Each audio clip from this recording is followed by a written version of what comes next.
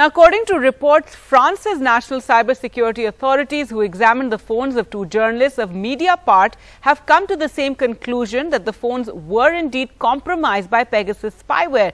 This is the first time that a government agency is confirming the Pegasus Snoopgate phone numbers of two journalists of Mediapart, which reported extensively on the Rafale deal, were also part of the leaked Pegasus database, post which their phones were examined by the French cybersecurity authorities.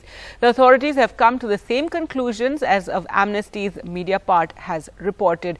Well, let's go across to Arvind for more on this. So, Arvind, so it's been corroborated that indeed these two uh, reporters, their phones were compromised with the spyware. Now, we know in India, there are at least 40 reporters who are on that list. Of course, there are opposition members, etc. as well. Some of them had given their phones to Amnesty, uh, you know, to check for the spyware. At least 10 were found to be compromised. So, here in France, you have a first case in which a government agency has confirmed uh, that the phones were tampered with? Yeah, uh, Gargi, in a significant development, for the first time, a government agency has confirmed this Pegasus Snoopgate. Uh, earlier part of the Pegasus project, several media organizations have reported a leaked database allegedly linked to the NSO group, whose numbers were part of this particular uh, database. And according to the reports, earlier reports, two of the Mediapart uh, journalists, their numbers were also part of this leaked database. Now, after post this particular report, uh, the, both the journalists, they had given their phones to the uh, France uh, National Cybersecurity Agency for examination.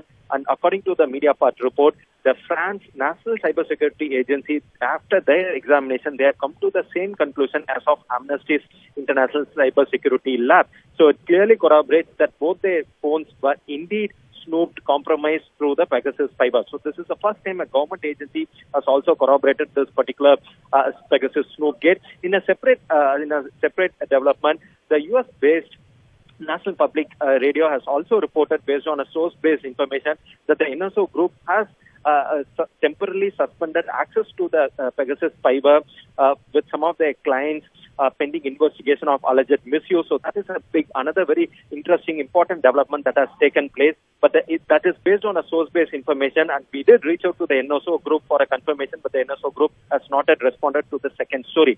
But apart from this, nevertheless, what we are seeing in India is the opposition parties are still continuing with their demand that there need to be a structured discussion in both the houses of the parliament in front of in the presence of both Prime Minister and the Home Minister on the Pegasus issue, and they are also demanding a monitored probe into the case. With the Supreme Court hearing this matter, matter next week, the opposition parties are very hopeful that there will be a probe into this case.